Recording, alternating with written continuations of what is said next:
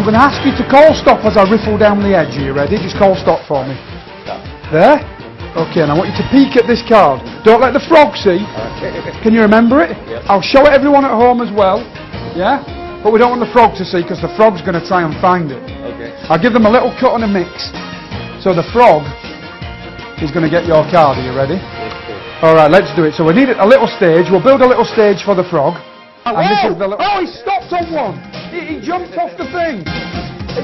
Turn over the card, take a look yourself. Ladies and gentlemen, the frog never ever misses.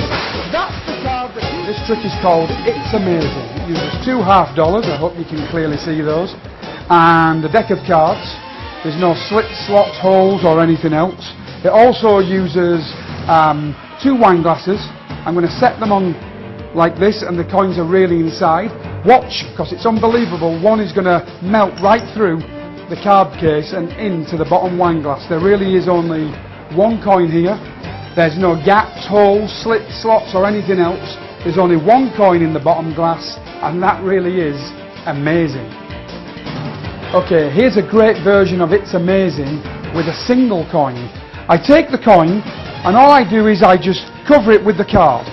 When I do that, the coin vanishes. It goes up in the air, becomes invisible, does three somersaults and lands right inside the wine glass. There really is only one coin. There's no slits, slots, gaps or holes and that is single coin penetration.